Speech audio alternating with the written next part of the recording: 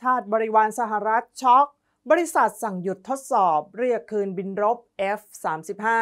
สอถูกชักดาบไม่ได้คืน เสียเงินฟรี จากกรณีเมื่อวันที่ 18 กุมภาพันธ์ 66 มีรายงานว่าสหรัฐนำ F-35 เครื่องบินรบทันสมัยที่สุด ไปอินเดียเป็นครั้งแรก ควบคู่กับ F-16 Super Hornet และเครื่องบินทิ้งระเบิด B-1B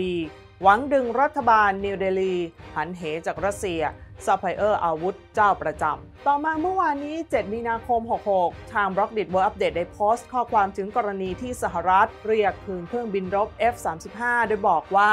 บริษัทอาวุธ Lockheed Martin สหรัฐ ได้ผลิตเครื่องบินรบมหาเทพล่องหนรุ่น F-35 ฉายาแพ้นก ดั้งจมูกหัก ขายผ่านกระทรวงกลาโหมสหรัฐเกือบ 900 ลำ จะส่งของไปยังชาติบริวารสหรัฐต่างๆ ทั่วโลก สหรัฐคุยโวมาตลอด ว่าเครื่องบินรบรุ่นนี้เทพประธานทันสมัยที่สุด มีอาวุธต่อสู้ที่ทรงพลัง เช่น การล่องหนเรดาร์ความเร็วสูง ความยืดหยุ่นมาก ระบบเซ็นเซอร์ที่ทันสมัย โดยแบ่งเป็น 3 รุ่น คือ F-35A สำหรับกองทัพอากาศ F-35C สำหรับกองทัพเรือและ F-35B สำหรับนาวิกโยธิน เฉพาะรุ่น F-35B สามารถบินขึ้นลงในแนวดิ่งได้เหมือนเฮลิคอปเตอร์ แต่เครื่องบินรุ่นนี้ยังเป็นที่วิพากษ์วิจารณ์ ถกเถียงเนื่องจากตลอดเวลาที่พัฒนาพบข้อผิดพลาดทางเทคนิคบ่อย จนทำให้มีราคาแพงกว่า 3,500 ล้านบาทต่อลำ ยิ่งมีออปชั่นมาก ยิ่งแพงขึ้นไปอีกกลายเป็นเครื่องบินรบที่แพงที่สุดในโลก ค่าบำรุงรักษาตลอดการใช้งานแพงจนซื้ออาวุธอื่นได้อีกอื้อ เวลาขึ้นบินแต่ละครั้งก็ต้องแจ้งสหรัฐก่อนอีกด้วย เครื่องบินรุ่นนี้ยังไม่เคยเข้าสู่สนามรบจริง แต่มีผลงานประจักษ์กล้องโลกกระช่อนมาแล้วก็คือปะทะชนกับนก แล้วแพ้ร่วงมงโลกพัง บินสับสนตกทะเล เต้นระบำหมุนคว้าง วนรอบตัวเองพลิกคว่ำพังยับ ดั้งจมูกทิ่มรันเวย์พังหมอสัญญกรรมไม่รับเย็บ ล่าสุดสร้างความช็อกโลก เมื่อสำนักงานโครงการร่วม JPO ของกลาโหมสหรัฐประกาศว่า เครื่องบินลบมหาเทพ F-35 ทั้งหมดจะต้องถูกเรียกกลับคืนไปสหรัฐนำไปเข้าอู่ซ่อมแซมภายใน 90 วัน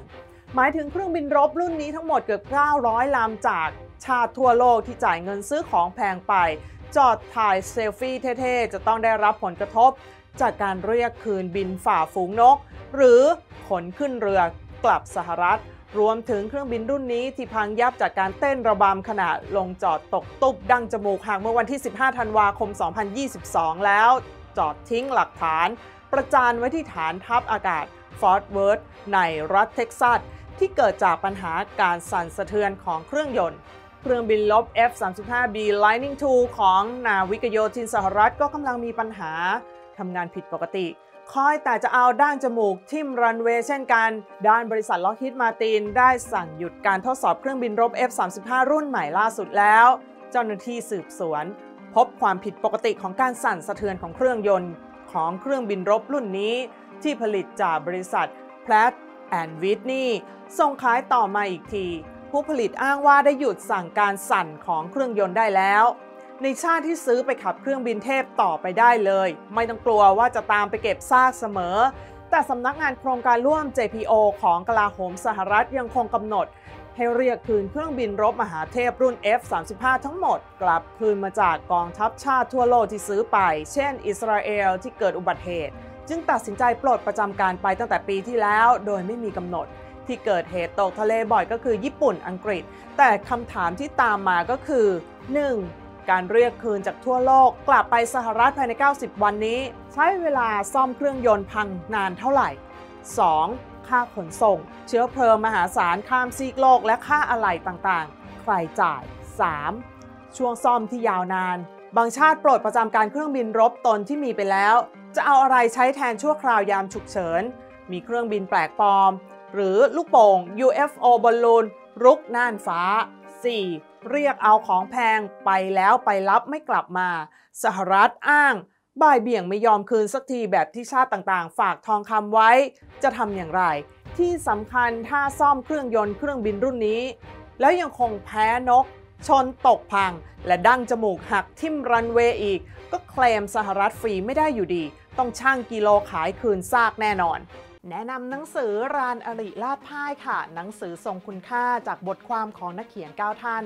จัดทำพิเศษสำหรับแฟนๆ สถาบันทิศทางไทยค่ะ พิเศษวันนี้ค่ะ หนังสือพร้อมเสื้อ ราคาเพียง 1,200 บาทค่ะ เสื้อมีจำนวนจำกัดนะคะ เหลืออีกเพียงไม่กี่ตัวเท่านั้นค่ะ รีบๆ กันหน่อยนะคะ หนังสือที่คนไทยต้องอ่าน รานอริราชพ่ายจักกรีวงศ์คงอยู่คู่ไทย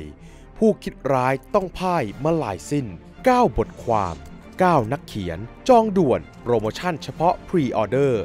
1,000 เล่มแรก แถมฟรีเสื้อยืด 1 ตัว ในราคาเพียง